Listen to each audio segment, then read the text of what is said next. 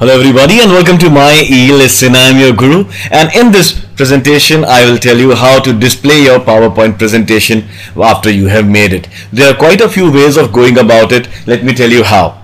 It's a really really simple thing to do. Now there are actually three ways of doing it.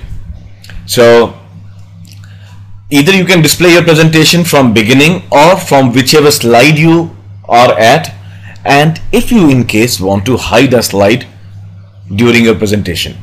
So I will cover these three topics. To, to display a presentation, we need to go to either the slideshow option over here and click on display from beginning.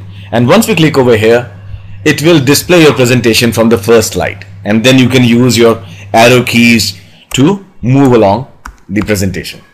I'm pressing escape to move out or you can press F5 again to use the present to go into the display presentation mode it will again start your presentation from the first slide.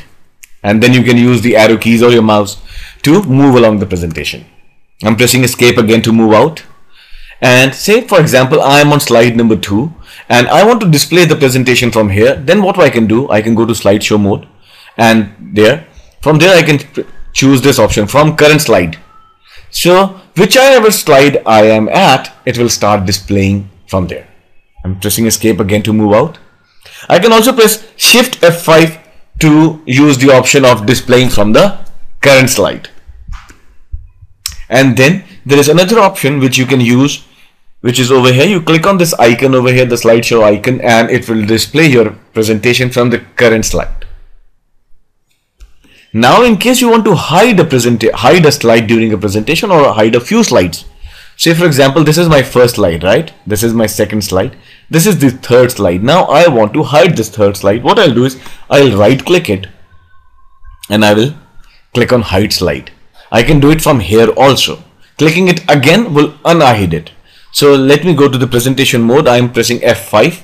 I'm using the arrow key to move to the move along the slides and see the third slide did not come up after the second page directly you are seeing the fourth slide. I'm pressing escape. And you'll see this cross mark over here. That means the slide is hidden. It is not deleted. I'm right clicking it again and I'm unhiding it. So uh, for unhiding it you need to click on hide slide again and it is visible now. So if I press F5 you will see third slide over here. Well, you can actually go to myelesson.org and watch many more videos in Excel, Word and PowerPoint. And in case you like this video, do share and like. Until the next video, this is your Guru now signing off for the day. Have a wonderful day ahead. Happy learning.